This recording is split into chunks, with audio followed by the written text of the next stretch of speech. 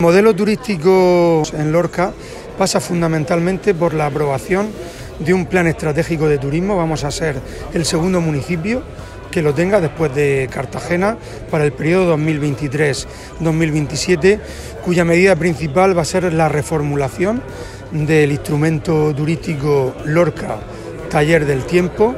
Queremos aprovechar la experiencia acumulada de este organismo que lleva gestionando los recursos turísticos de nuestro municipio durante varias décadas y queremos eh, reorientarlo con una versión, una vertiente eh, mucho más profesional y diversa.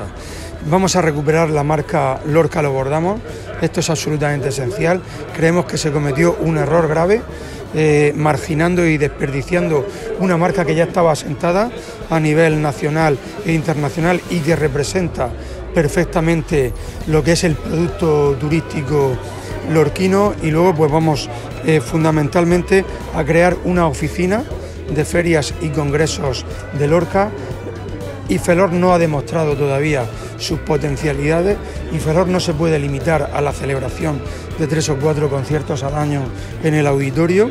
Necesitamos una oficina potente. Vamos a crear un gran evento para dar a conocer a los grandes operadores turísticos y empresariales lo que es IFELOR, que se tiene que convertir en un polo de referencia para la celebración de ferias, de congresos y de simposios profesionales a todos los niveles.